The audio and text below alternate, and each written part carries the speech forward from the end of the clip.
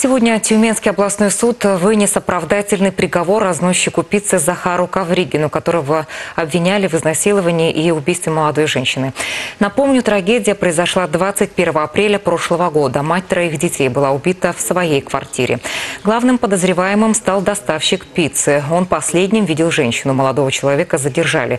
В его машине нашли золото и деньги, похищенные в квартире убитой. Почти год Захар Ковригин провел в СИЗО. На днях суд присяжных оправдал юношу. Если бы доказательная база была у нас, уважаемая страна, обвинение не была ограничена ни в коем разе в предоставлении этих доказательств. То есть все, что они считали нужным и возможным, не противоречащим закону, они все доказательства представили, присяжные сочли их недостаточными. Я полагаю, что доказательств по делу нет.